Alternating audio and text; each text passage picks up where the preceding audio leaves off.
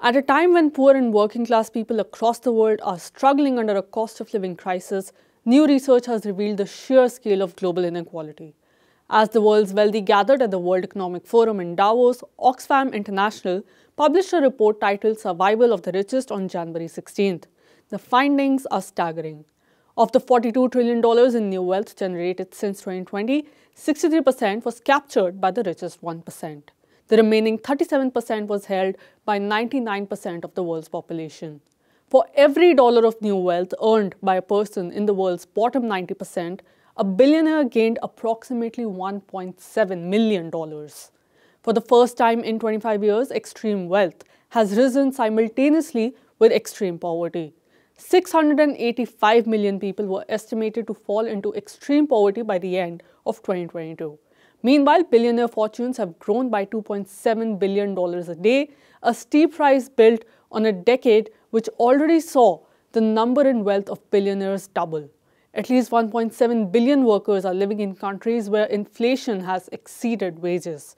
Studies conducted in the US, the UK and Australia found that between 54 to 60% of inflation was due to the increase in corporate profits. Over 820 million or 1 in 10 people are going hungry with women and girls comprising almost 60% of this population.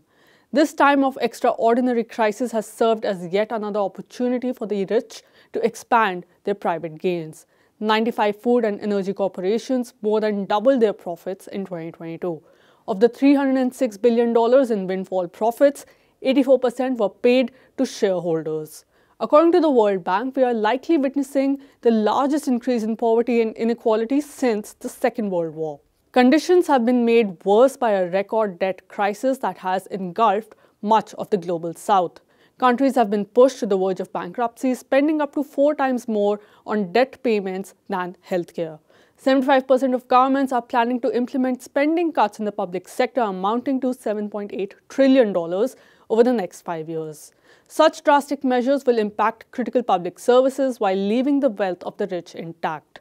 Instead of raising taxes on the incomes of the rich, governments have opted to raise taxes on goods and services, hitting the poor the hardest. According to Oxfam, only 4 cents of every tax dollar come from taxes on wealth. Tech billionaire Elon Musk paid a true tax rate of 3.2% between 2014 and 2018. In contrast, Aber Christine, a flour vendor in Uganda, pays a tax rate of 40% on his $80 monthly income. Half of the world's billionaires also live in countries that do not have an inheritance tax. Their descendants stand to gain $5 trillion in untaxed and unearned income, a figure larger than the GDP of Africa. Oxfam has called for the systemic and wide-ranging taxation of the super rich.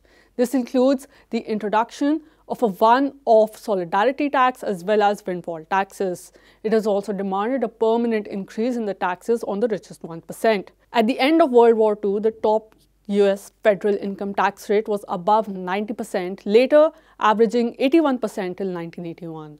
Oxfam has argued that such tax rates in other rich countries were key in expanding access to public services. An annual wealth tax of 5% on the world's multimillionaires and billionaires alone could raise $1.7 trillion a year.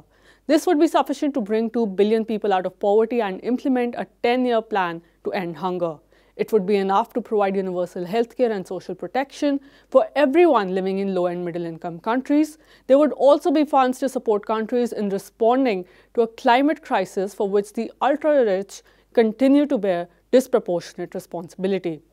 Taxing the super rich and big corporations is the door out of today's overlapping crises, Oxfam's executive director Gabriela Bucher said in a statement, adding that it was time we demolished the convenient myth that tax cuts for the richest result in the wealth somehow trickling down to everyone else.